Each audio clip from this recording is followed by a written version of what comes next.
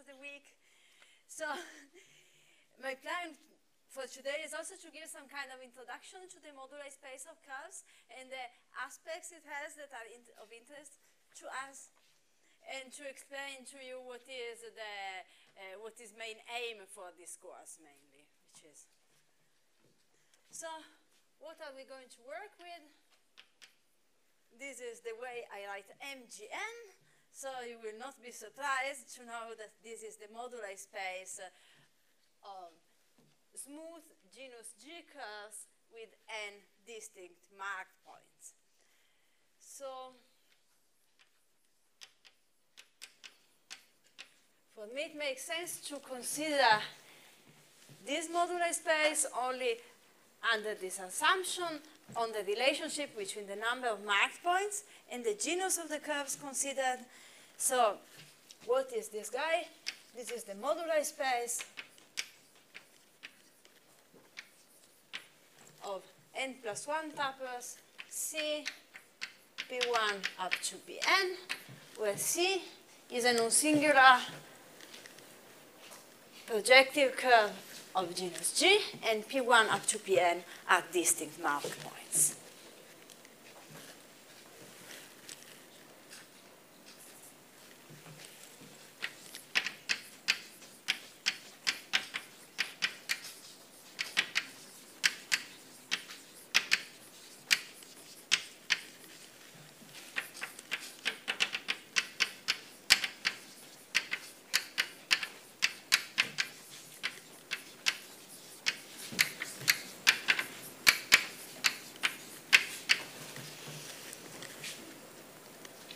So we will consider it not so much as a moduli space, like a collection of isomorphism classes, but rather as a stack. So we will consider the fact that it parameterizes families over a given base, in particular that it has a universal family.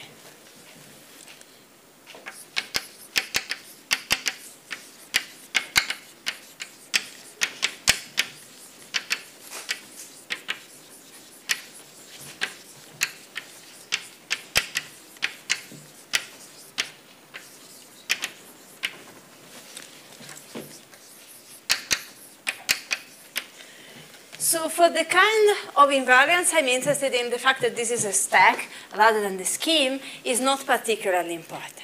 This has something to do with the fact that if you fix a curve and the number of mark points on it, there may be automorphisms. And this is the kind of the addition of additional structures which is encoded if you look at the stack rather than the associated coarse moduli space, which is just parameterizing the isomorphism classes.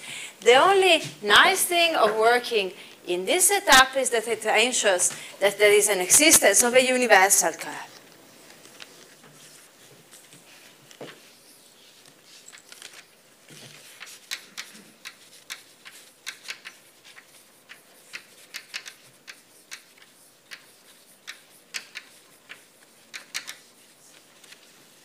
So And this gives some kind of canonical way to reconstruct to the point of the moduli space, the curve with its marked points, and even to fit it into a family. So if we fix a base, a base scheme S, can you read here?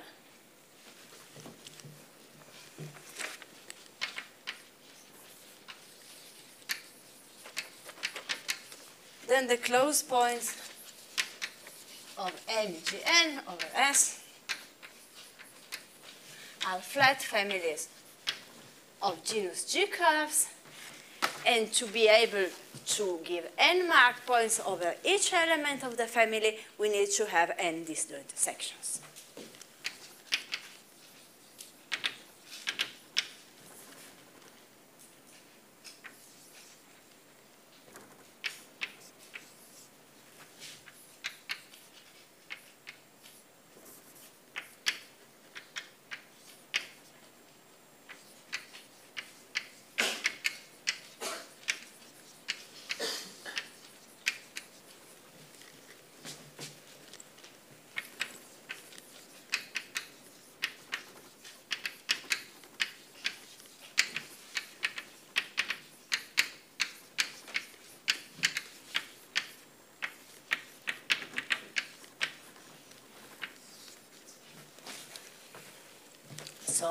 G of n I have, of course, zero.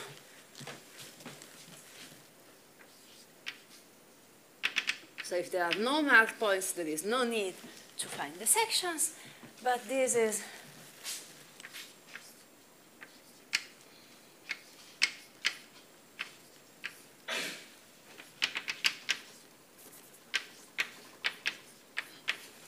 the way to look at the points of our space.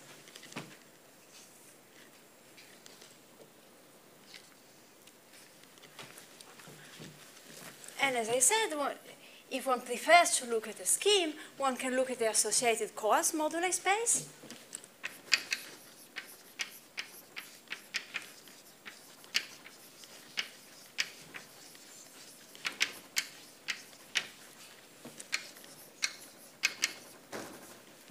And morally, I mean, it does not fit well in this more formal definition of what the stack was, but morally,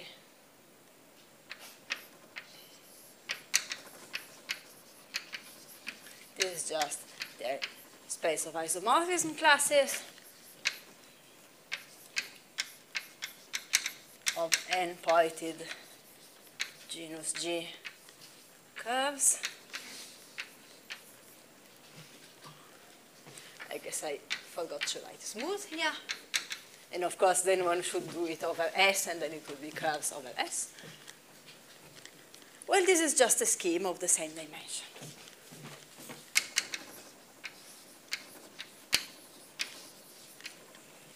And as I said, if you don't worry about how many marked points you have, you don't have to worry too much about this uh, um, scheme versus stack business, because if you have sufficiently mar many marked points, uh, then there are no automorphisms on your curve. So these two objects are going to become eventually the same. Moreover, this is not a particularly scary space to look with, to, to work with, because it will, can be actually realized quite uh, nicely as a quotient, exactly in the way it uh, was originally constructing using geometric invariant theory, and then realizing it as a global space, parameterizing pluricanonically embedded curves, and then dividing by the appropriated automorphism group of the projective space in which the curves are embedded.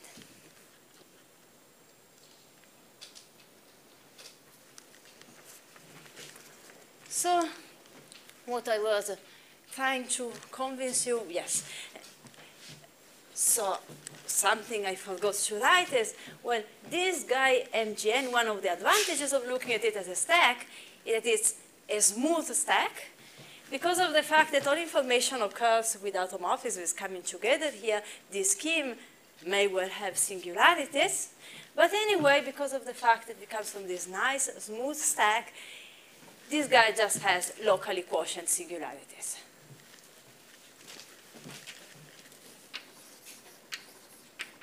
So the stack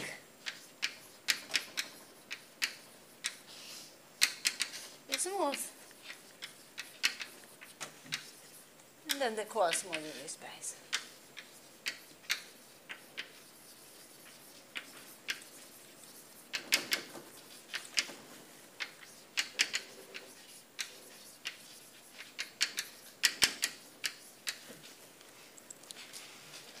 So this is all a very good theory, but we have already discussed today that, of course, smooth curves can degenerate to singular curves.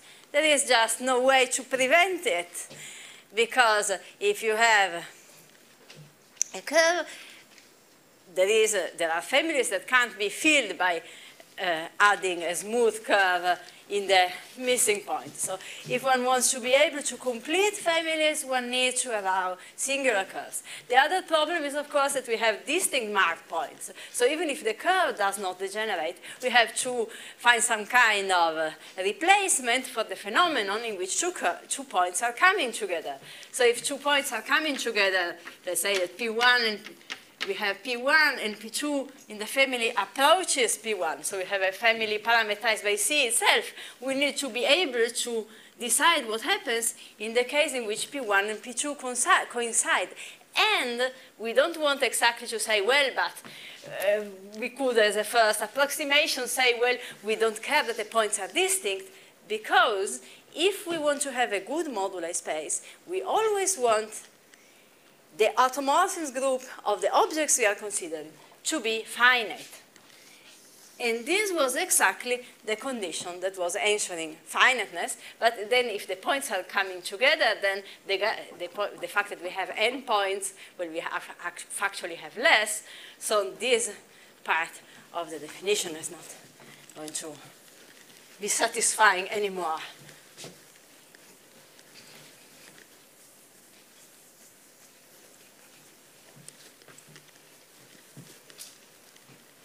So we're lucky for curves there is a natural way to find a nice class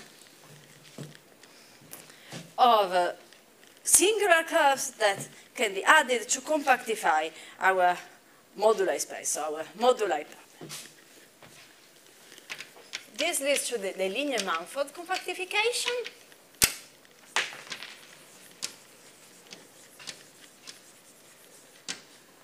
So I guess it has not, uh, it has not been uh, in existence for 50 years yet, but uh, close to. So perhaps we should uh, uh, track down the first paper and organize a birthday party at some point.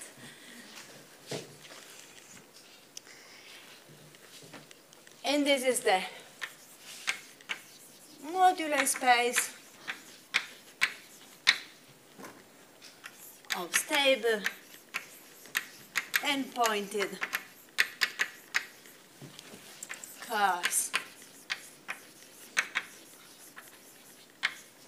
of genus G. So what are now the elements of M bar G and S?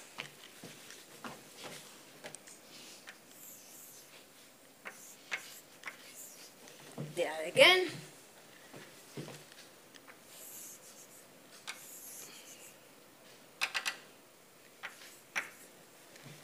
family, a flat family of curves with n sections.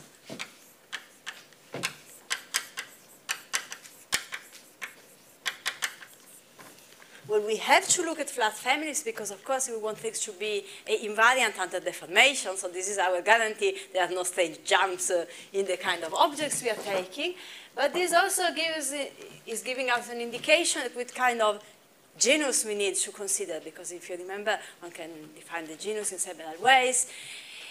There is the geometric genus, which is the genus of the normalization. This is what you find by looking at global differential forms, generalizing the uh, definition for smooth curves in that way. But anyway, what we need to look at if we want to have a flat family, should be a flat family of curves of arithmetic genus.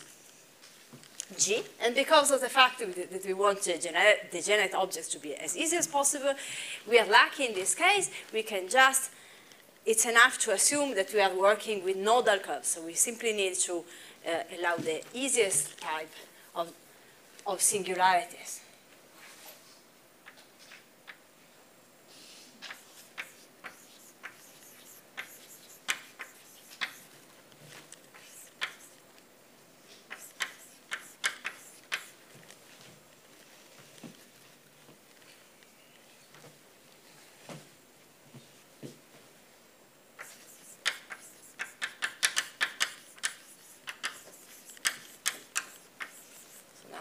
Genus we have to consider is the arithmetic genus, which in itself already ensures that the family is flat.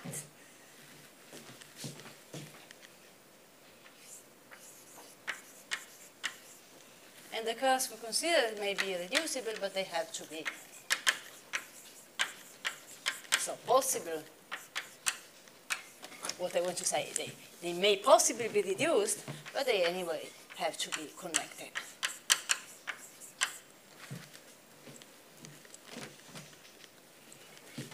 Then there is a condition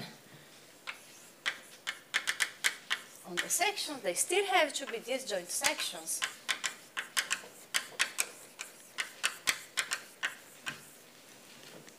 But what we want them is that they, they can't uh, hit the singular loci of the curves.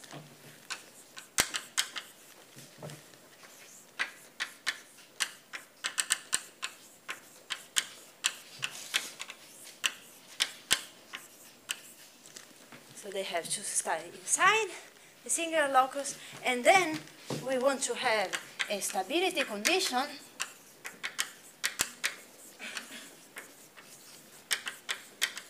that ensures that the automorphism group of the curve is finite.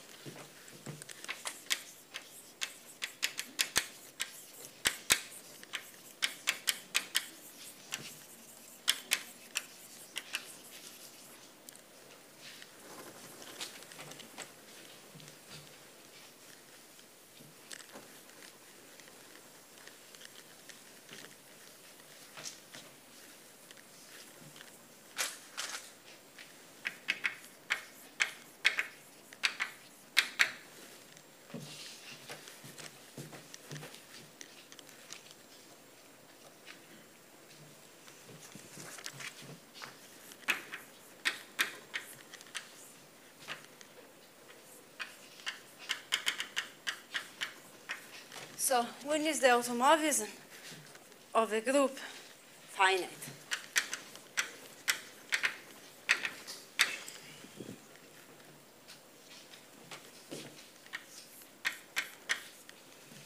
The idea is that this kind of condition, which is actually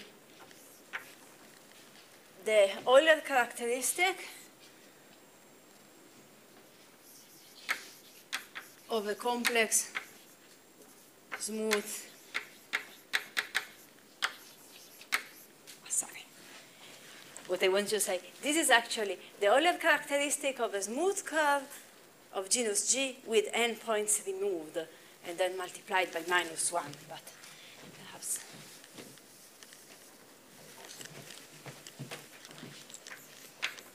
the point is we need to have, the, this is exactly the condition that ensures the finiteness of the automorphism group. So for each irreducible component,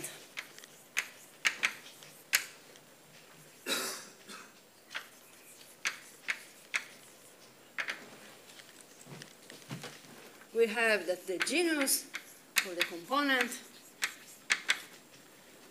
multiplied by 2 minus 2 plus the number of special points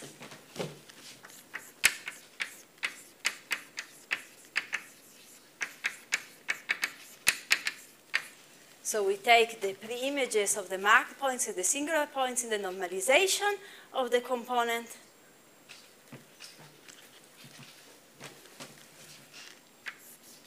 This should be positive. Sorry. This was stupid. Or the equivalent, one could take the Euler characteristic of the component, remove from it the set of mark points, not all of them may lie on it, and also all singular points. And this should be negative, because uh, if you, to understand why I'm writing this, oh, this is not minus. This is, the reason why I'm writing this, so this is just the same formula we have here multiplied by minus 1. The reason I'm writing this is that it has uh, some uh, more intuitive interpretation if we think of a field of complex numbers, then our curves, then all components, or at least their normalizations, give Riemann surfaces. And the idea is that the automorphism group of a Riemann surface with some marked points is finite if and only if, if we remove from the surface all marked points, we get a hyperbolic curve. So a curve of uh, uh,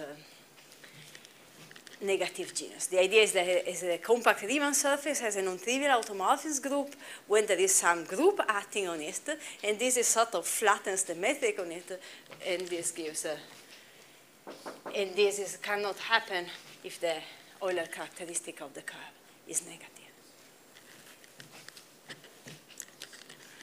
But if we look at this formula, just uh, 2g minus 2 plus n is bigger than 0, we see that actually this can become negative. Well, the only thing that can be negative is minus 2. So this is only significant if we have g equal to 1, in which case we need n to be at least 1, or if we have g equal to 0, in which case we need n at least 3. So actually the only additional condition, if we assume this to start with, is that every time we have a rational component, there are at least three special, spatial points on it.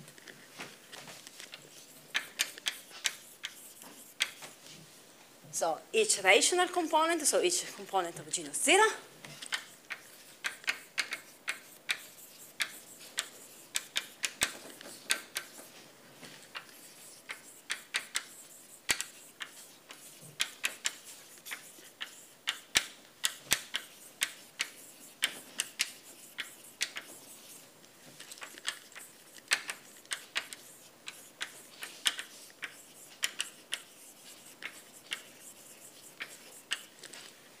the should be counted on the normalization. So if we have something like a self-intersection, then it counts as two special points.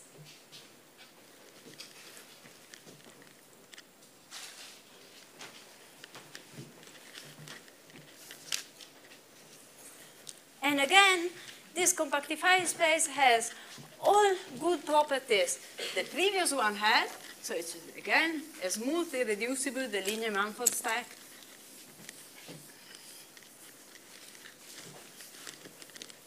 But now it's complete.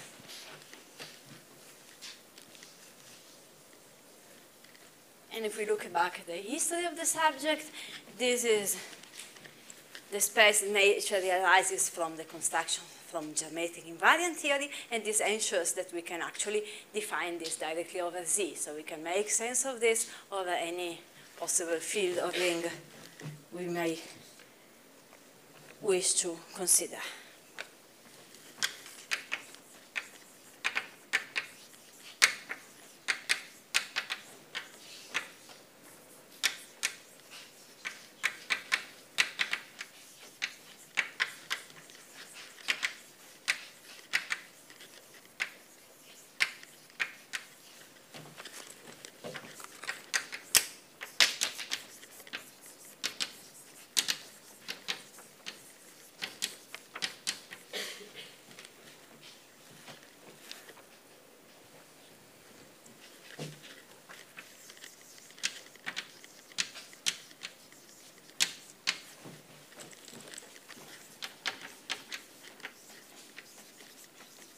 And if we just wish, uh, if you don't, for some reason, don't wish to maintain all information about uh, automorphism groups of the elements, so if we are just happy to work with the isomorphism classes of, of stable curves parameterized in this way, then we can work directly with the coarse modular space, which is, of course, a scheme.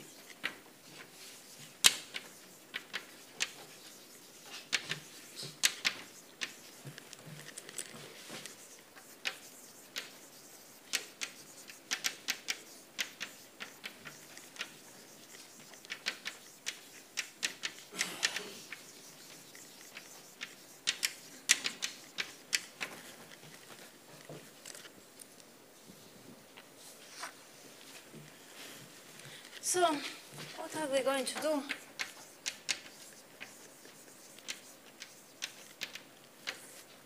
During our lectures with these spaces. Well, the idea is that most of the time we work over the field C of complex numbers. So we are actually working with modular spaces of Riemann surfaces or these kind of degenerations that are created by patching together pieces of Riemann surfaces uh, by identifying points and creating the nodal singularities. And we will look uh, at the cohomology of the space. So the, this is the most flexible but significant invariant that is attached to this.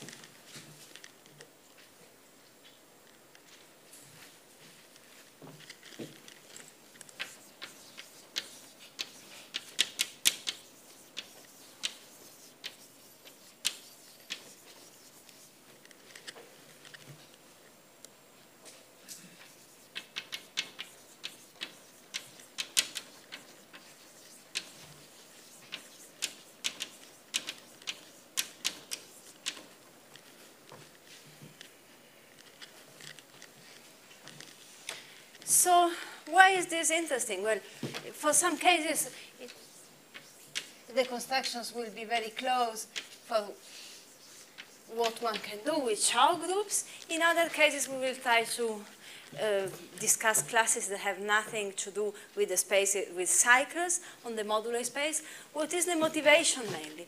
Well, the first motivation is, I guess, um, how the one of the main motivations to study the modular space of curves, to understand uh, it's enumerative geometry, so to be able to count uh, how many degenerations and at which time are there in each family. And this, of course, is some kind of enumerative information which can be found by taking the intersection product in the, um, in the Chow ring, but it's, in many cases the relevant information survives through cohomology, so this is certainly sufficiently interesting. And then there are two kind of motivations that are sort of um, autonomous. So because of the fact uh, of the way in which the geometry of curves work, cohomology groups in themselves may have uh, interesting interpretations coming from number theory as spaces of modular forms. So in some, in some cases, studying cohomology group of these modular spaces is going to give us some kind of geometric interpretation of spaces of modular forms that are coming from number theory. And you know, it does not matter whether the input is coming from number theory and we can give some kind of geometric interpretation for it, or if the thing is going the other direction, we can use geometry to prove something that people in number theory can't see for themselves. But the point is there is some kind of interaction which can be very useful for both sides. And then I must say, uh, I would say most of the application of results about modular spaces of curves so far in the last uh, decades has been to mathematical physics because they are uh, related to the construction of cohomological field theories, like when looking at Gromov-Witten.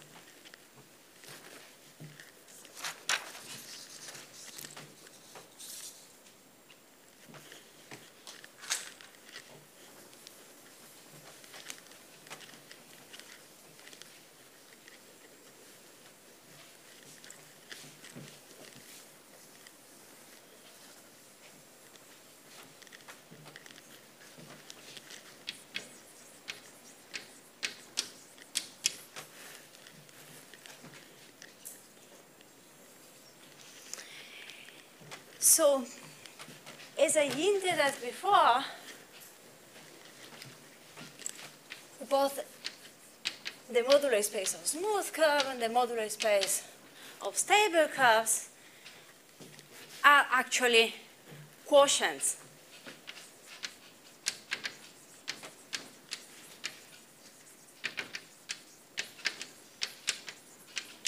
So the idea is that we don't want to make this so very explicitly, but the idea is that anyway, globally, M bar Gn has been constructed by saying, well, there is some projective variety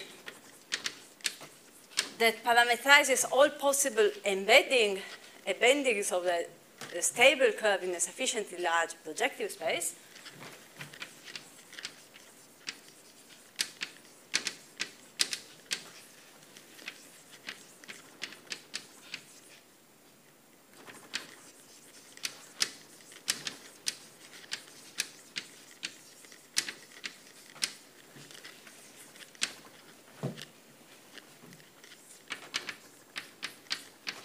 Now I'm not trying to add the marked points in this, uh, in this story, but then of course uh, one can add them as well by taking some kind of incidence correspondence, so it's not... Uh,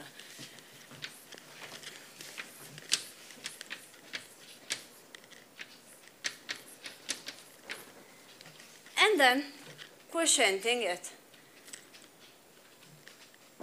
by the action of the automorphism group of the space in which the things were embedded.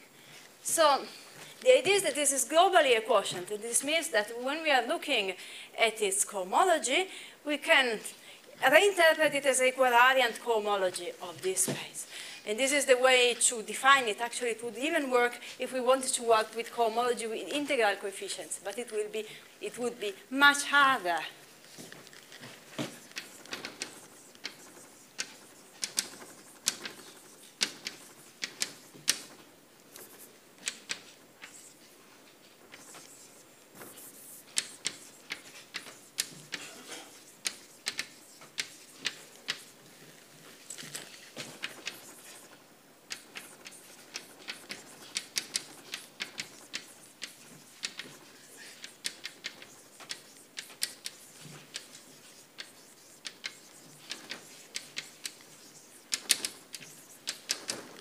And this kind of construction would work even with, with integral coefficients.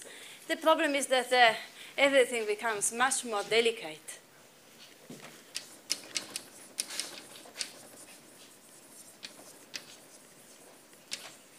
And in that case, the results just in very small genus, I think, nothing further than genus 2.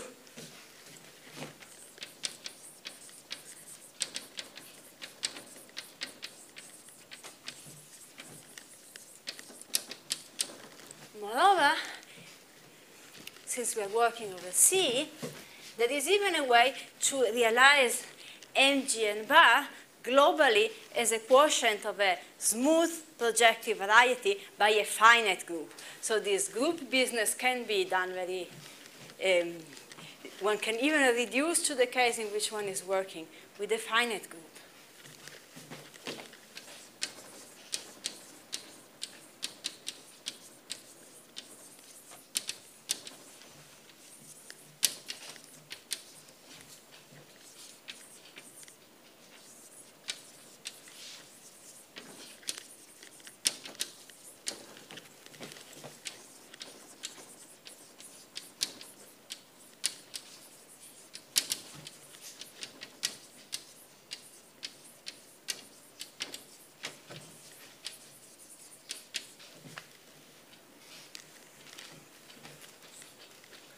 So the idea is that to do this, one needs to put some extra structure, which is called in this case a level structure. We'll, we'll perhaps touch on the basic case of this, which only works for smooth curves. But anyway, the fact that this is possible is non-trivial. I think it's due to Looijenga, the compactification for n equal to 0, and then to his students Pikaart and Boggi. Beginning of this century.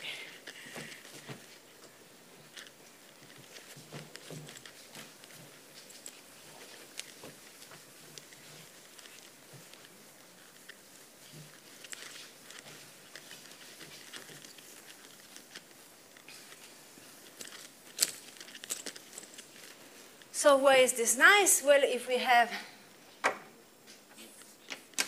that our MGN, but it actually works with any stack. Yeah, sure.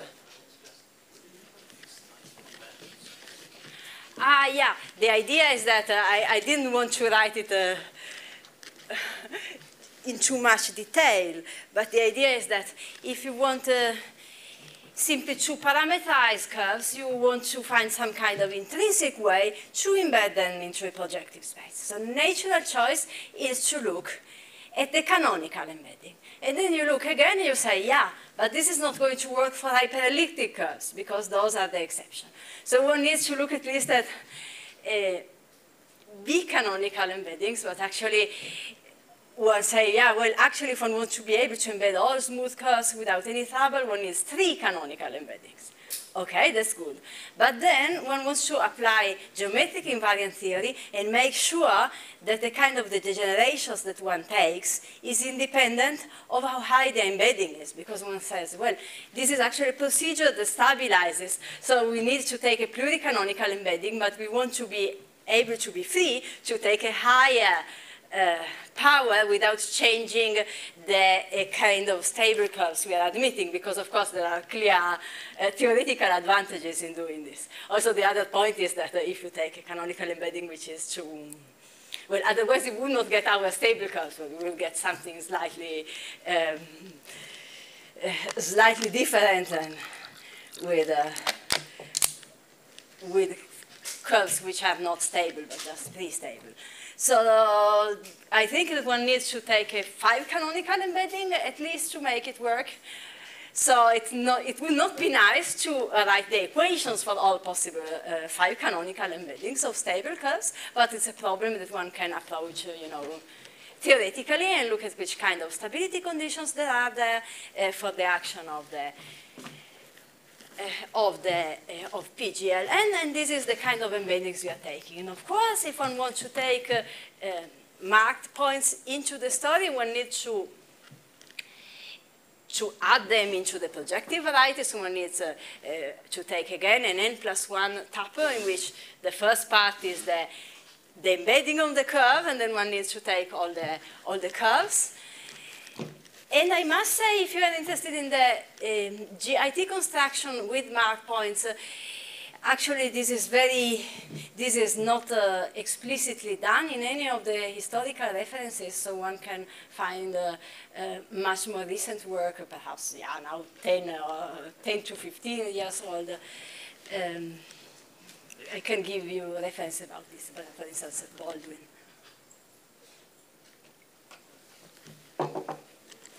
So what I was trying to say is, if we are lucky, and what we get is simply the quotient of a variety by a group,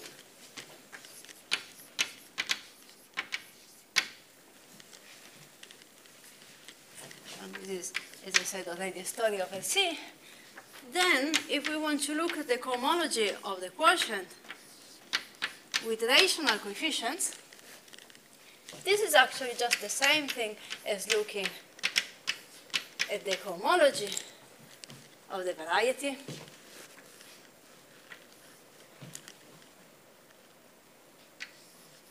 And then take the G invariant part.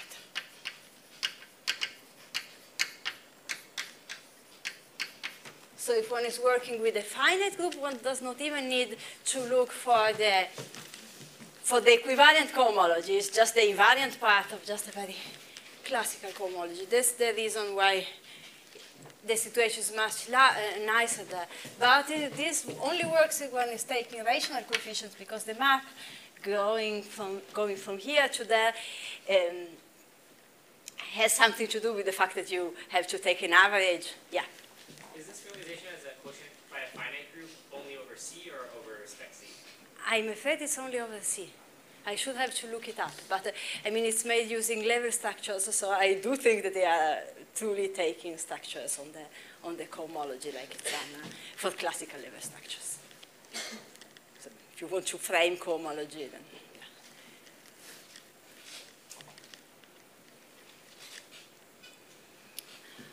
So this is one of the reasons why it's nice to work over Q. The other reason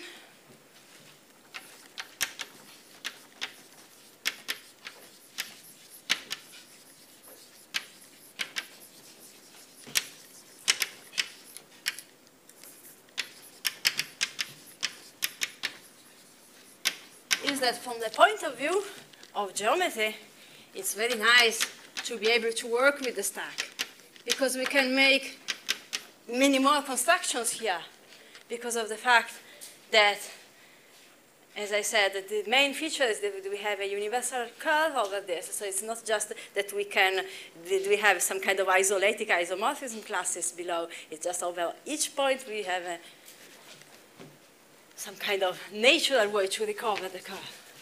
But for many constructions, it's also very difficult to keep track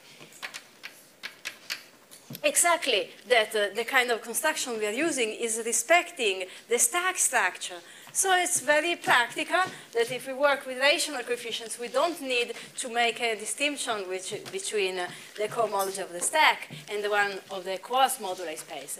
Uh, why is that? Well, the point is that the information which we are forgetting has something to do with the automorphism groups, which are finite, they are torsion, so they can't produce anything interesting uh, at the level uh, of, uh, of cohomology as soon as we take Q coefficients. Yeah. Uh, in the case you have a stack which is a global quotient. Is Yes. this the definition of the rational cohomology, or you define it? Uh, So, uh, yeah, I, I know I'm being vague here. So actually what I wanted to say here, I'm just taking the scheme theoretic quotient of a, of a, of a scheme by a, by a group and I'm not uh, uh, worrying about the st- stacky structure. But the point is that uh, so, in any case, it's not the definition. If you want to take a definition, you need to work with equivariant cohomology. Or if you want to have Chow rings, with equivariant Chow rings.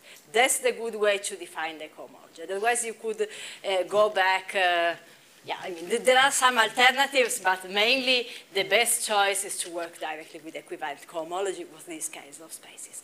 What I wrote here is was already thinking, I was already thinking with a variety in mind, because this would not be the standard notation for the quotient stack. Quotient stacks are written with square brackets. But I don't want to make a point of this, because as I said, if we are not, uh, we are not behaving so nicely with respect to the stack structure, actually, for what we are doing, it will not matter.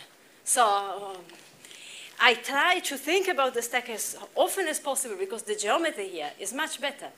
But if we replace by mistake our uh, stack with a, a different one with the same uh, coarse moduli space, we are not in trouble. We can do it all the, all the time.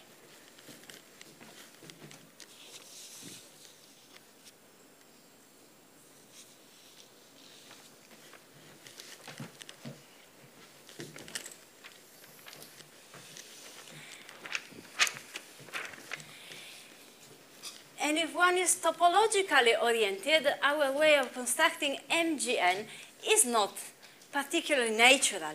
Actually, there is some kind of topological or analytic construction of MGN. So how does one construct MGN when one is not an algebraic geometry?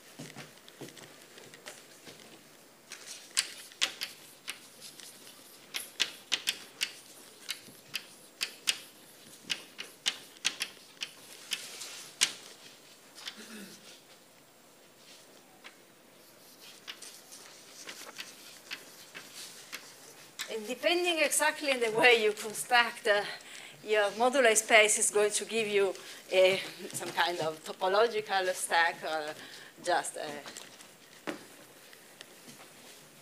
a manifold, uh, an orbifold perhaps.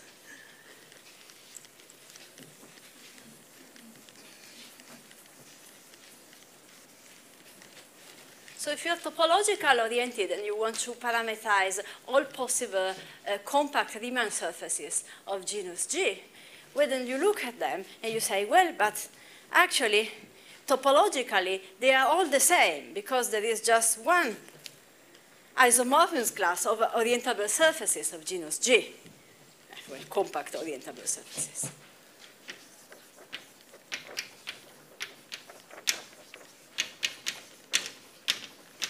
So the idea is that we can fix a surface of genus G, and then MG parameterizes all possible choices of a complex structure on it.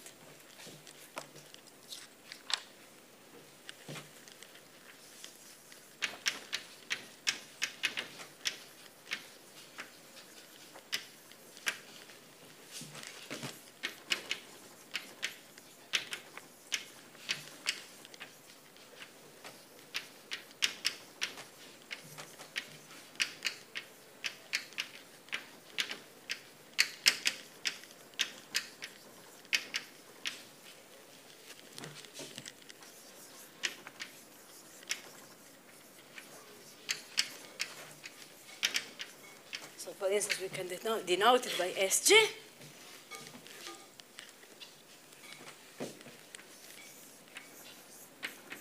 So what one obtains in this case, it's a very large space, the so-called Teichmüller space, the space of complex structures.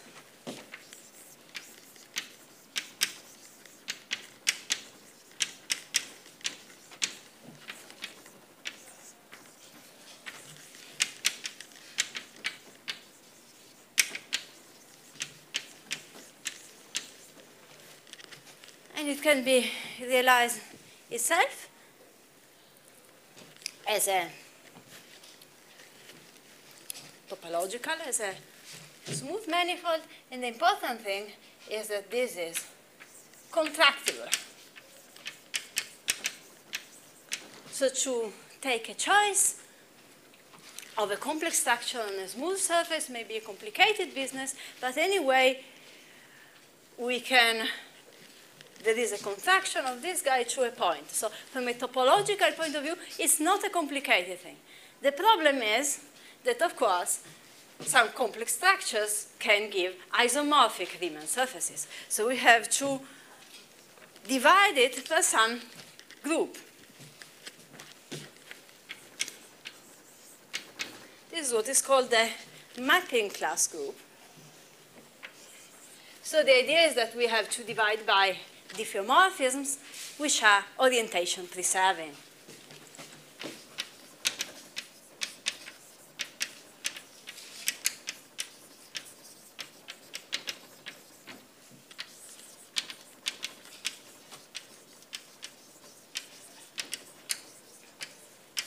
So this is just part of the definition. The point is, of course, this would act on TG, and the quotient will give the isomorphism classes we want to have, but two diffeomorphisms may define the same structure. They do this exactly when they lie in the same connected component of the group I've just written. So one does not read, need to take this, one needs to take the group of connected component of the group of diffeomorphisms on a fixed Riemann's eh, A on a fixed oriented surface. So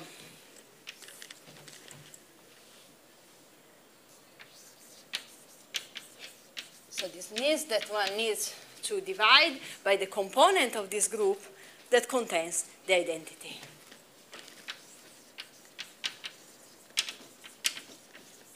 The idea is that you can deform a different diffeomorphism to the identity, then it's actually also trivial, acting trivial on the trivial on the complex structures. So if one takes the stack quotient here, one guess again our mg in a different incarnation. I would like so to stress that this is now a discrete group because it's a group of connected it's a group of connected components. So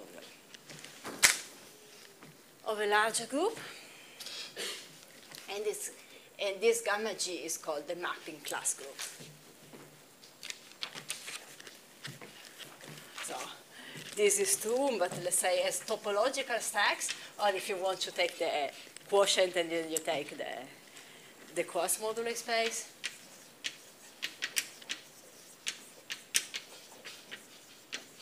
Or if you prefer.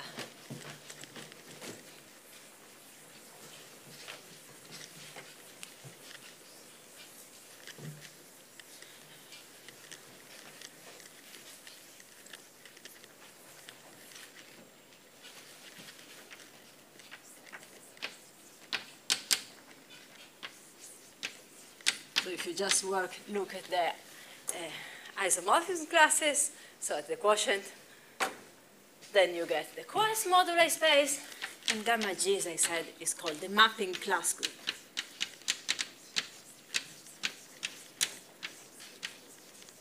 In genus J.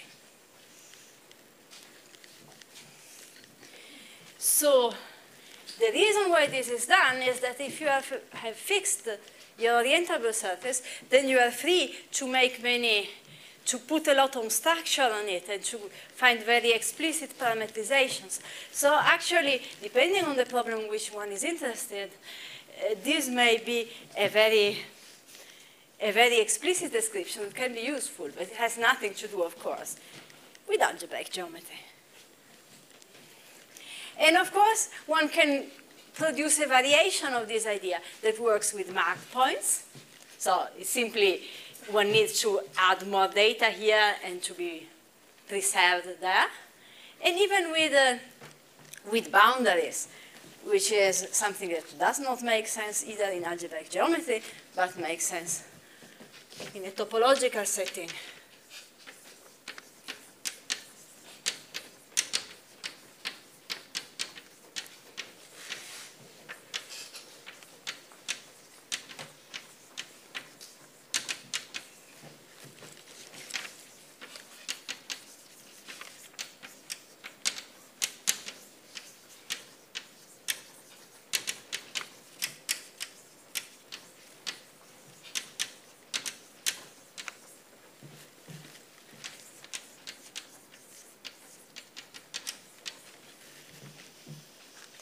So I will just So we all know what a marked point is. It's just a fixed point, so that's not the problem.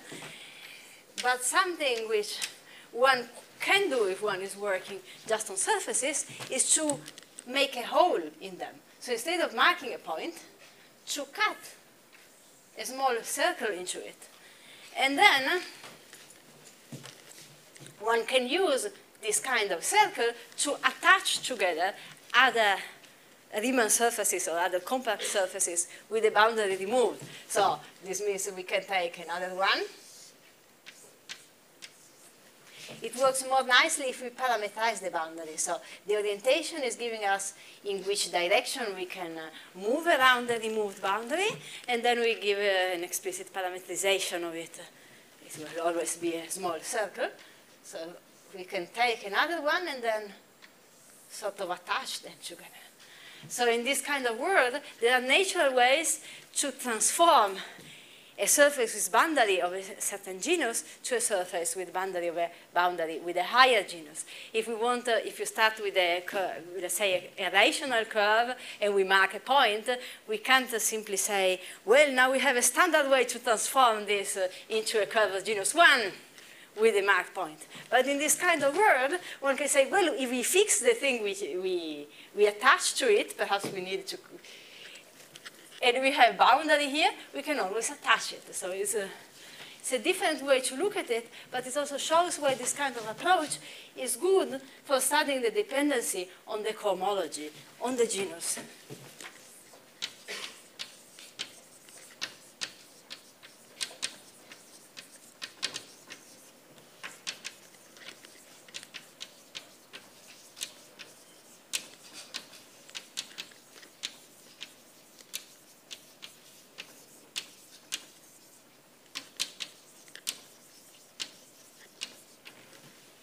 So this is, I would say, the, the kind of problem on which the topologists uh, have been uh, most successful recently.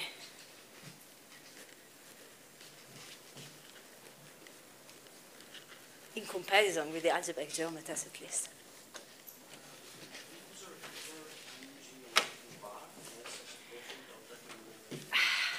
Yeah, you can. I, I can look up a reference about this for you if you wish. But to me, it looks very unnatural. So to me, it looks like they want to have MGN bar, so they are sort of artificially gluing things on the boundary to produce exactly MGN bar. Still, the, the procedure of the generations is working well because uh, somehow degenerating a curve from a topological point of view, how do you create a node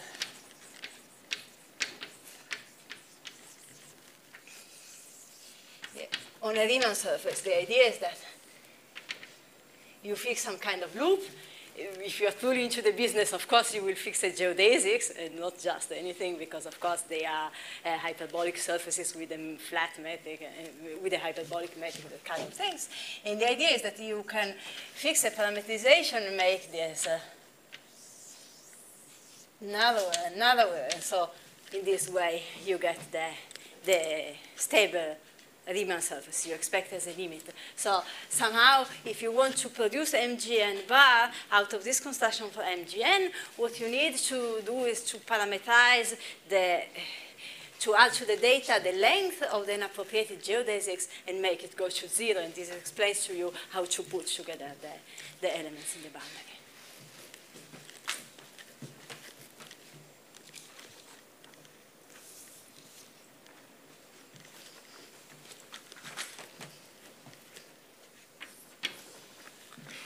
But anyway, when I submitted uh, my proposal for these lectures, I thought that the, I mean, my, I decided on the aim, and my aim was try, to try to illustrate to you as many ways as possible to construct cohomology classes on these modular spaces, to illustrate uh, how rich the cohomology theory is, but also which kind of meaning these classes may have for the geometry of the moduli space.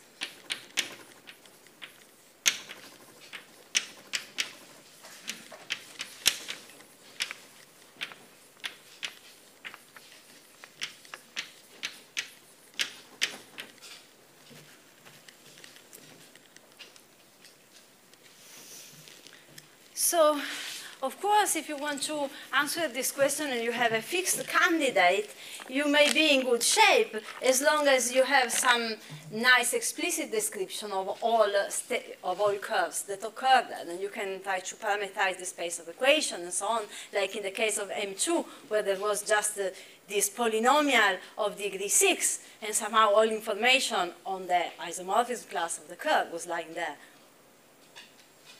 But if one wants to be able to construct cohomology classes in general, one needs to have something that works independently of the genus.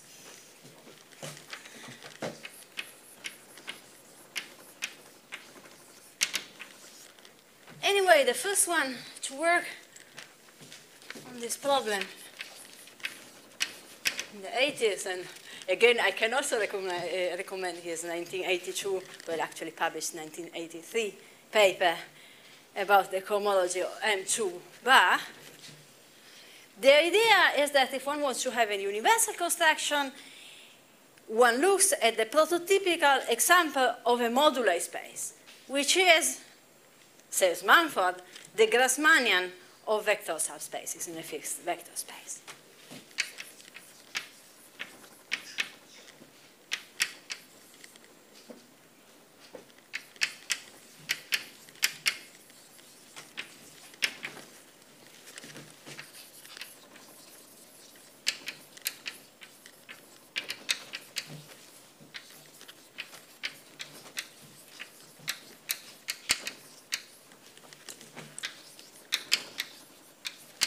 So I'm considering it as a Grassmannian of subspaces. It does not really matter for what we are doing. And then let's see, let's say uh, it's k-dimensional subspaces in Cn.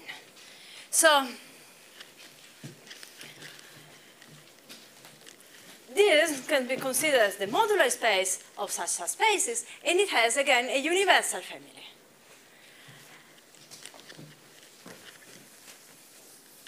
And since it's parameterizing vector subbundles, the universal family is just a universal subbundle.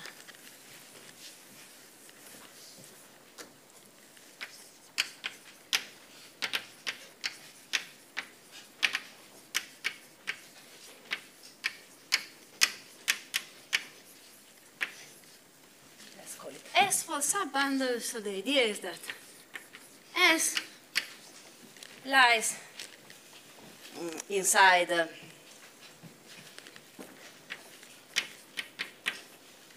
the trivial uh, vector bundle of rank n over G, and it has, of course, a quotient, so S has rank k, and the quotient has rank n minus k.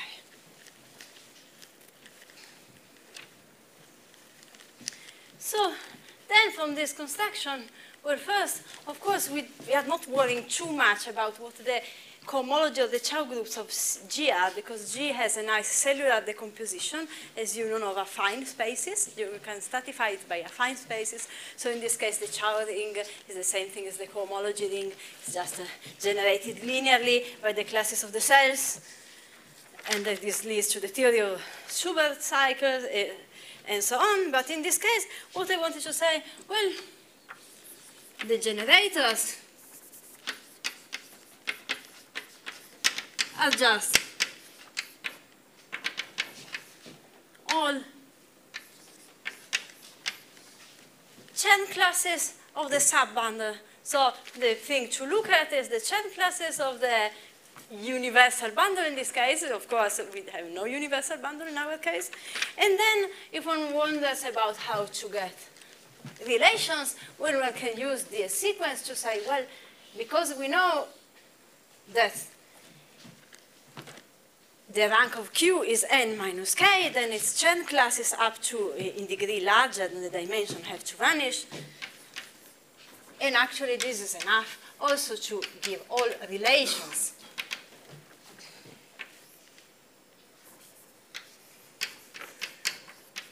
So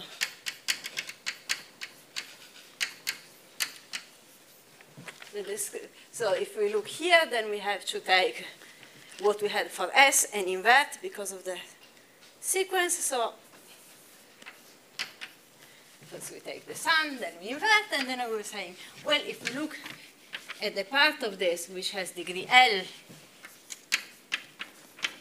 which is at least n minus k plus 1, then this has to vanish. And this can be reinterpreted as giving relations here, and this is a, a completely explicit uh, description of the cohomology of our Grassmannian. So this is what we would like to copy. The part, uh, the mm, part about creating classes, defini defining them, can be copied very easily. The business with relations is actually much harder. And of course, there is no guarantee that what we get with this kind of constructions will give us this, the whole cohomology because MGN bar is a space with an interesting geometry, so we can't stratify it by putting together affine spaces. So for sure, there is no reason why cohomology and Chow agree, and no reason why it's generated by uh, linearly by classes that are easy to identify. But anyway, this was the idea. So we look at the universal family.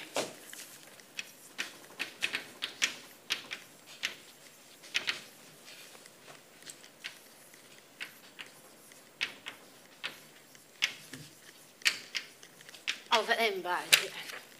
So we are now introducing apparently a new thing, but actually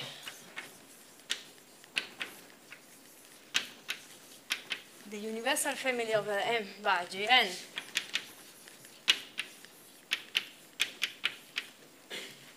is the same thing as taking M bar n plus 1.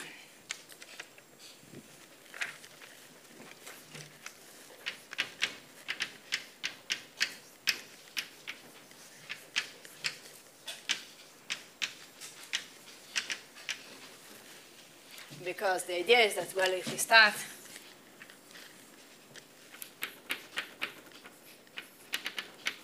with a curve with n mark points, well, if we take a new point, so the additional, in the universal family, we simply need to take an additional point and let it move on the curve. So as long as it's distinct from the marked points or the singular points of the curve, we are not in trouble. If they hit, so let's say that P hits uh, the point N, this is actually the image So this can be. So we keep track where the point n was, and here we take a genus zero component, and we put on it, on it the p and n, and this is the kind of thing that happens. The way we reinterpret the case in which the point that we left move, we, uh, we moved on the curve hit one of the uh, mark points. If the point hits uh, a singular point,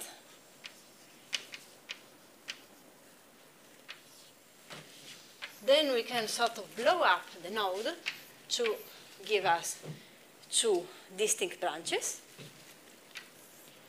Then there will be an exceptional divisor that the blow up, which will be something of genus zero.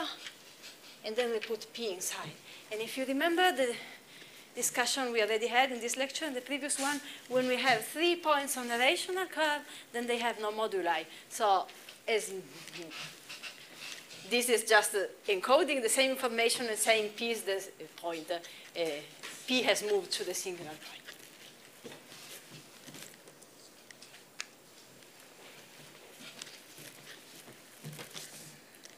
So now that if we are looking at the universal family, we can create some kind of universal, you some kind of vector bundles using the data, which is here.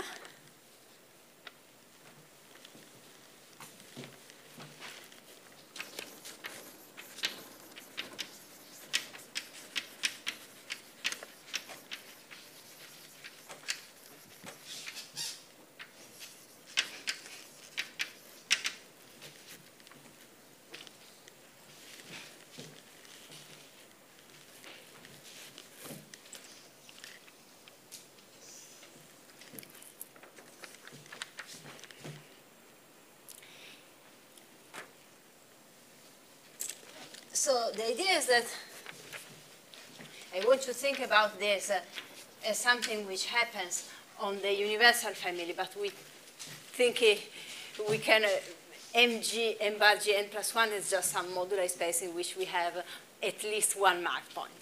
So this is something, uh, simply a construction that makes sense at any point as long as we have some mark points. And we can say, well, some way of construct a vector bundle over mgn bar is to take, to look at where the mark point is, or the point on the universal curve if you prefer, and look at its cotangent space to the, um, to the curve.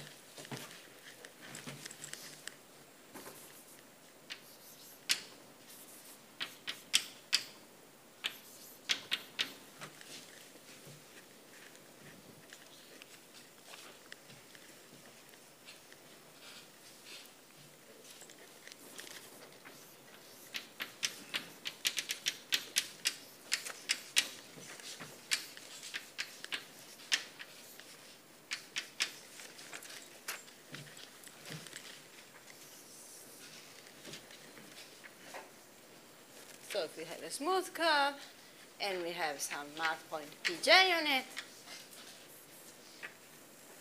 then we can consider the tangent line to this and I also take its the cotangent space, which is behaving more positively. So that's what we want to take. And then if we let the move, curve move in the modular space, then this is going to give us a line bundle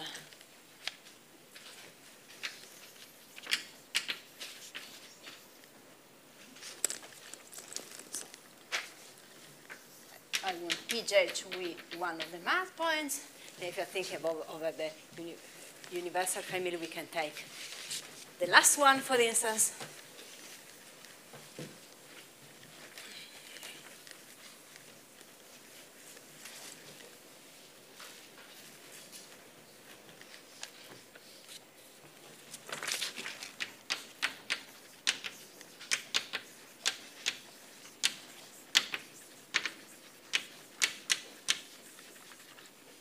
And since this is a line bundle on M bar Gn,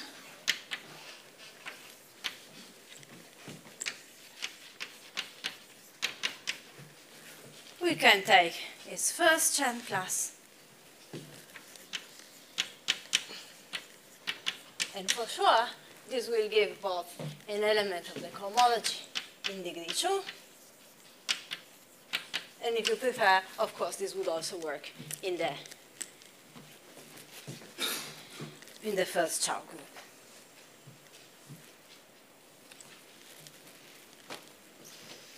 Then, of course, this does not make sense uh, if n is equal to 0, but then, as I said, if n is equal to 0, we simply go and look at the universal family.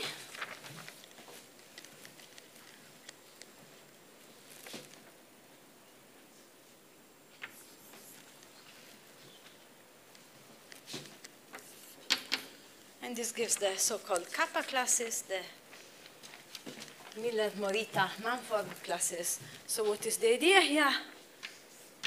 Well, we don't know what n is. It may be equal to 0, but then we look at the universal family. We always have a psi class there, the last one. And we can take any power of it and push it down to mg and bar using the universal family.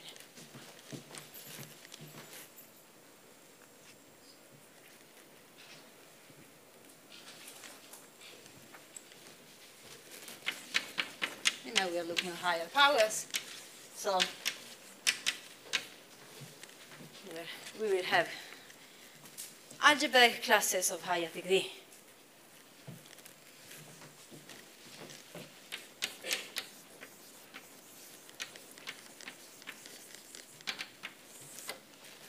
Moreover, as we already discussed in the previous lectures, there is a, a natural bundle over mgn, which actually extends also over mgn bar, because it actually depends on the definition of the universal family, the Hodge bundle.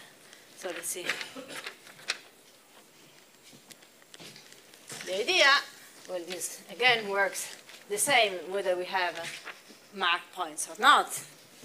So, over such point C of the modular space,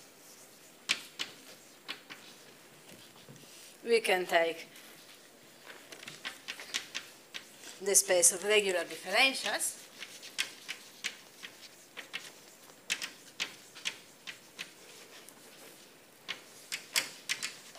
So this, of course, works well if we are working over a smooth curve, but it actually can be extended in general.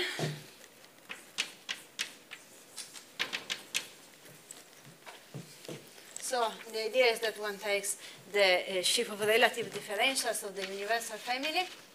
I'm not writing n here because it does not really play a role.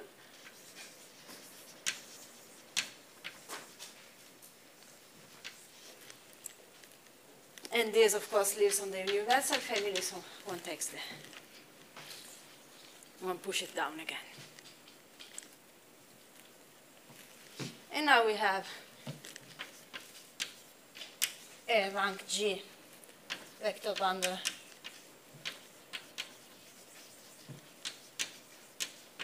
over mg bar, if you wish also over mg bar n, and one we can take, yes.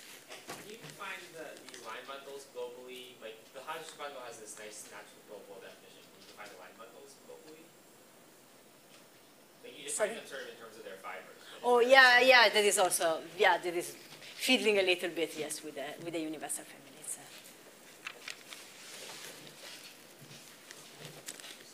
So the idea is that if one truly understands how the thing is defined, then there is a natural way to figure out how, how to give the global definition.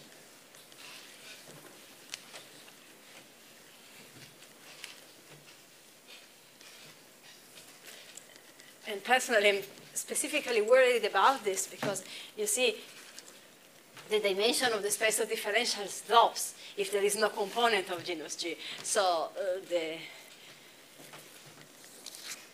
the Chern classes of the Hodge bundle are going to uh, vanish on the loci on which there is no uh, on which there is no component of genus G. So this is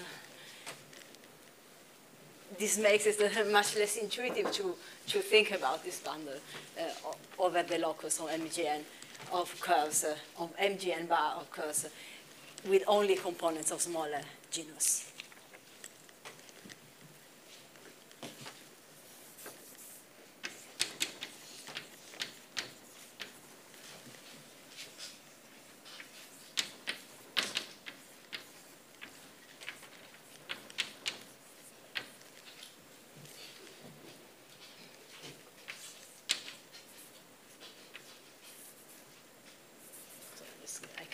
this in general, but of course, since this is a rank G bundle, one, one has to stop the G if one wants to have something non-trivial.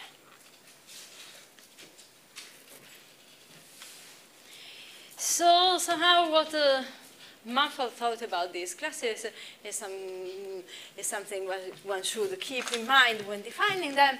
So the geometric intuition is that the lambda classes are natural because they have something to do with the sheaf of differentials, and this sheaf is geometrically related to the fact that curves have a Jacobian, which is an abelian variety, and so somehow the lambda classes come from the fact that they are the uh, natural cohomology classes on the modular space of abelian So they are there also for the modular space of curves because there is a, a very precise relation, but they are not particularly, not necessarily so natural for the geometry of MGN.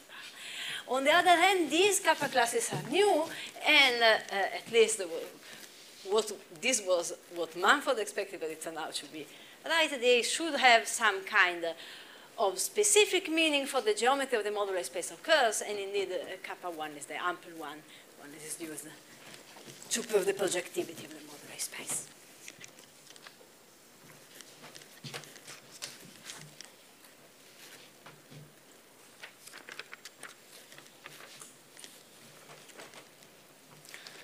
So, so far we have a collection of classes. We will actually see that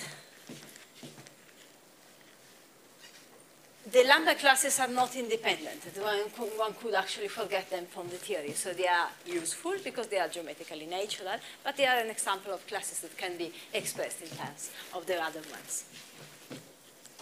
But anyway, which other natural classes do we want to consider? Well, the point is we want to consider the boundary strata classes, the classes,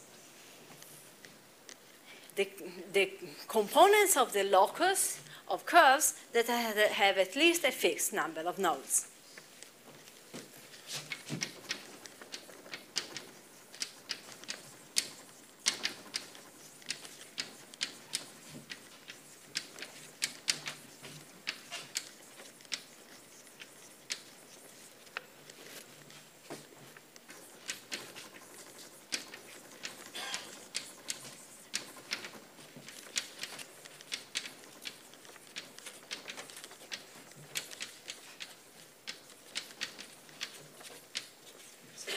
can't remember which notation it was.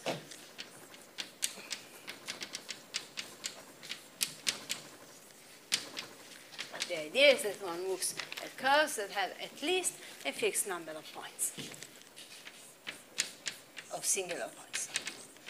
The number of singular points on the curve is at least k. And actually, each one so these are, of course, loss. So the reducible components of this guy are, of course, closed subvarieties of the modular space of curves. So one wants to be able to take, a natural thing to take is to take the fundamental classes.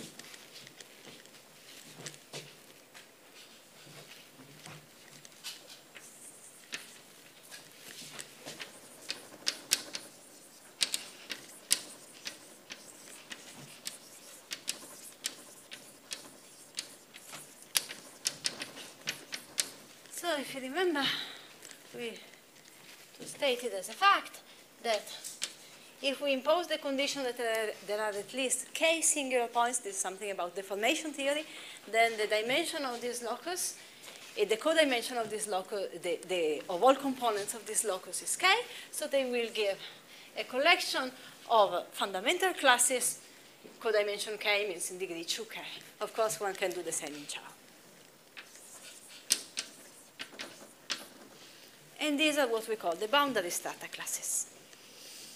Of course, we can deal better with them if we understand better what the combinatorics of the boundary is.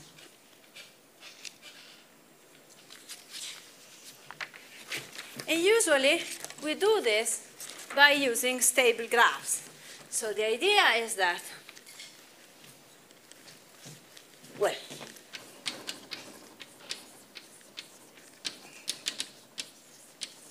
each such reducible component corresponds to the topological type of a degeneration.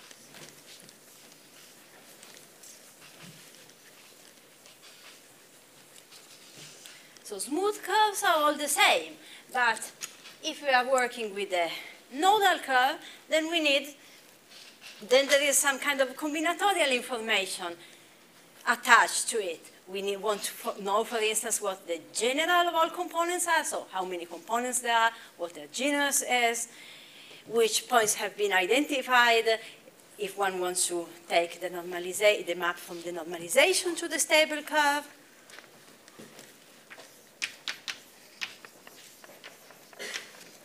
Idea is that every, every time we have a stable curve see, well, of course, it will have constant mark points.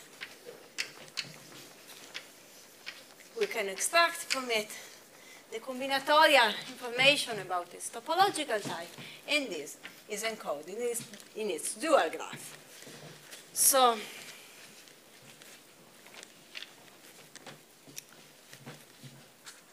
let me try to sketch an example. So let's say we have a curve, a component which is a curve of genus 3.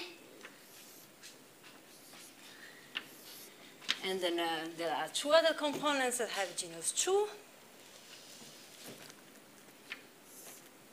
And here we have a component of genus 0. Well, we said that this is this needs to be stable, so we need at least two mark points here, but perhaps we can have three.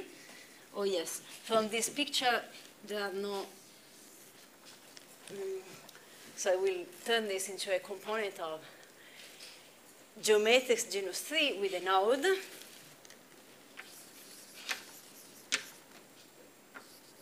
So the genus I write is just the geometric genus of the component. So it's a, it's the genus of the normalization.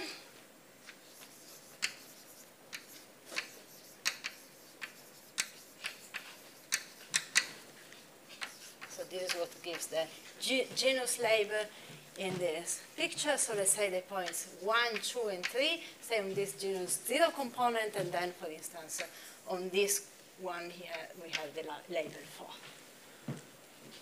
This is stable because I put sufficiently many points here, so which is the information we want to keep in mind. So we want to attach to each component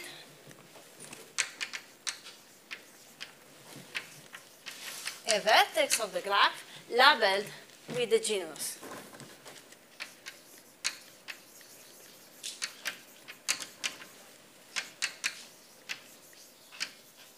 This will be actually a labeled graph with also some open uh, leaves. So here we have uh, one, two, three, four components, one of genus 3, two genus 2, and one of genus 0. And components of genus 0 are often just written as black dots because of the fact that it's very difficult to write a zero inside uh, without uh, having it looking very strange. Also good for print. So then each node should correspond to an edge of the graph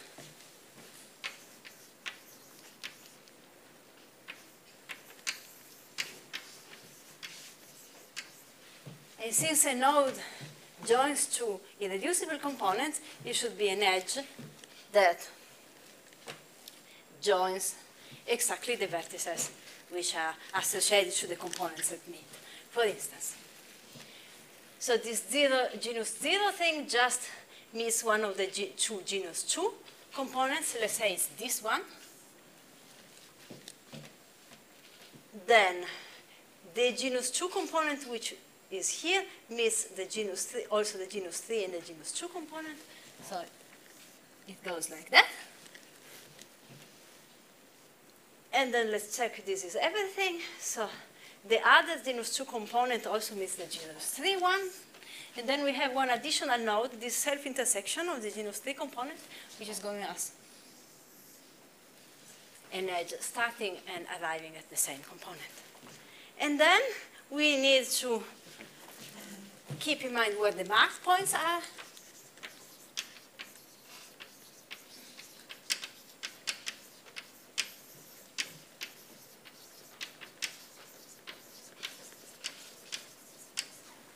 And the mark points correspond to marked leaves of the graph, which start exactly at the corresponding vertices. So here, 1, 2, and 3 start at the genus 0 vertex, and then we have an additional one, which is on the genus 2 vertex not meeting.